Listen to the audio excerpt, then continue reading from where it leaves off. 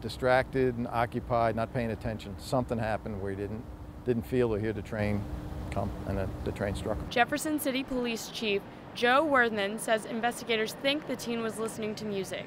They found his phone still working at the scene with music playing, but haven't found headphones. Worthman says they might be under the train.